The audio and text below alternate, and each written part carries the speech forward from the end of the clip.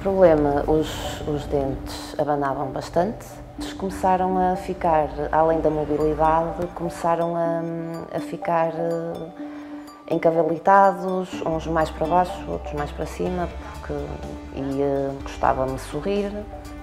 Geralmente, quando, quando me ria, tinha sempre a mão à frente da boca.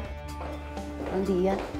A jantar, a almoçar, a comer algo mais duro era doloroso e não podia comer. Tinha que ser coisas. Uh, a comida tinha que ser mais mole. A Rosário, quando veio, tinha os dentes a abanar, ou seja, a preocupação dela era que os dentes se moviam-se, ninguém conseguia lhe dar uma resposta a solucionar esse grande problema, que era a grande preocupação da Rosário.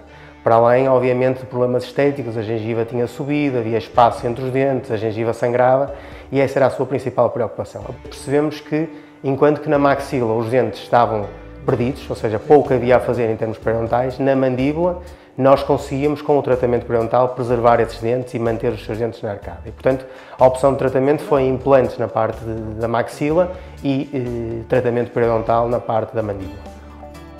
Quando eu tive mesmo consciência que tinha um problema, lá está, foi quando eu, eu ao comer uma maçã, houve um dente que me caiu, mas caiu-me direito. Não partiu nada, foi desde a raiz. Ou andou muitos anos sem estar verdadeiramente consciente do risco. E só quando chegou a uma fase muito avançada é que percebeu que tinha mesmo que fazer o tratamento e, e aí modificou completamente aquilo que vinha fazendo.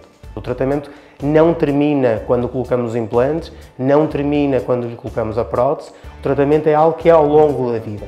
E, portanto, essa manutenção é obrigatória da parte do paciente. Ter dentes para, para muitos anos, não, está tudo a correr bem. Sim, recuperei a, a, a segurança, a minha segurança. Por isso é só continuar com as minhas limpezas diárias e com as minhas limpezas semestrais aqui na clínica.